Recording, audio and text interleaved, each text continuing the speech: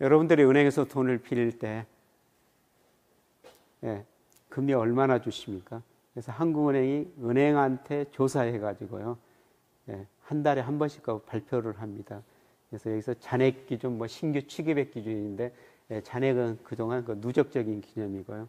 이것보다는 우리가 신규 취급액 기준, 예, 그달 그달 은행이 예, 몇 퍼센트 금리를 받고 예, 대출해주고 그 다음에 자기들이 돈을 받을 때 금리를 몇 퍼센트 주느냐 이걸 한국은행이 매달 매달 발표하거든요.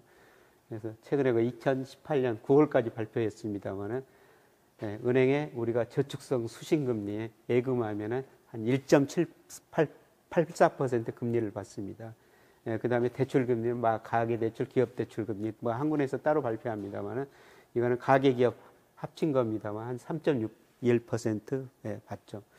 근데 최근에 여러분 신문에서 보면은 금리가 올랐다 그러는데 예, 사실 그 대출 금리가 작년 12월 달에 3.62%였거든요. 2017년 12월 달에.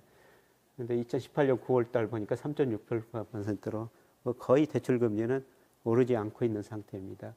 그래서 이 금리 차를 은행 수입원이라고 그러는데 예대 금리 차라고 그러죠. 은행은 예, 대출할 때 3.6% 받고 예, 그 다음에 자기들이 돈을 받을 때 1.8% 받으니까 1.8% 은행 이익으로 어, 남게 되는 겁니다. 근데 여러분들이 이제 은행에서 돈을 만약 못 빌린다면은 예, 비은행 금융기관 가서 돈을 빌릴 수밖에 없죠. 예, 비은행 금융기관이라는 게 새마을금고, 상호금융, 신용협동조, 예, 상호저축은행 뭐 이런 금융회사들이 있습니다. 근데 아까 은행에서 대출 받을 때 대출 평균 금리가 3.6이었죠. 새마을 금고 가면은 4.4 이게 쭉 올라가다가 상호 저축은행 가면은 10.6%까지 올라가는 겁니다. 예, 그래서 뭐 은행에서 대출 받은 게 좋은데요. 은행에서 대출 못 받으면 뭐 비은행 금융기관으로 가야 되는데 이렇게 금리가 높다는 것입니다. 어떻게 생각하면은 예, 금융이라는 게 이렇게 뭐 비열한데 뭐 별은 적장하지 않으면 그런 데죠.